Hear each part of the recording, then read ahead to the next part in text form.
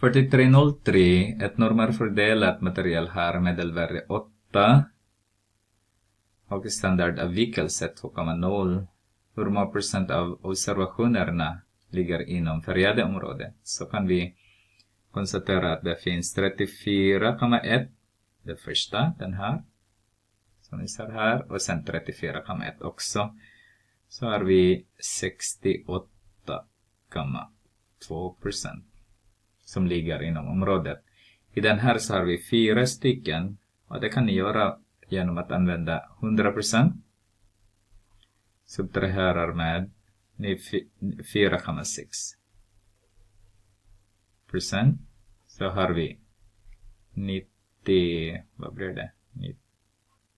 4, det är 4,